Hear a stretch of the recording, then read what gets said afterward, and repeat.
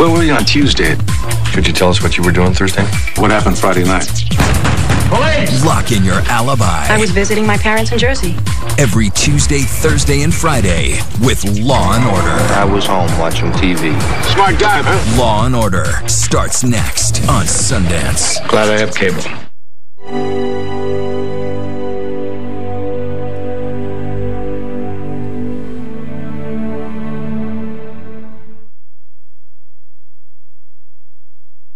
In the criminal justice system, the people are represented.